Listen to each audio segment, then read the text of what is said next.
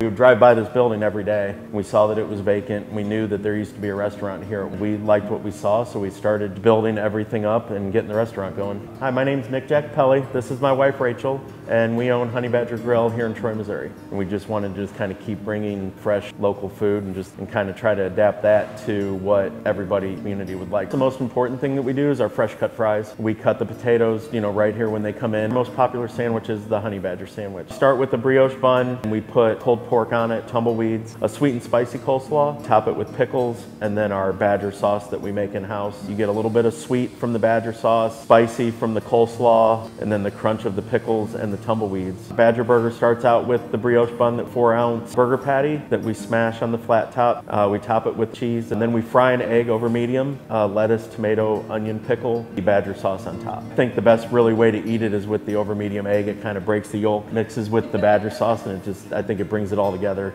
Our food has kind of always just spoken for itself. If you're not looking for the same old thing that you get everywhere else, then we're definitely worth the drive.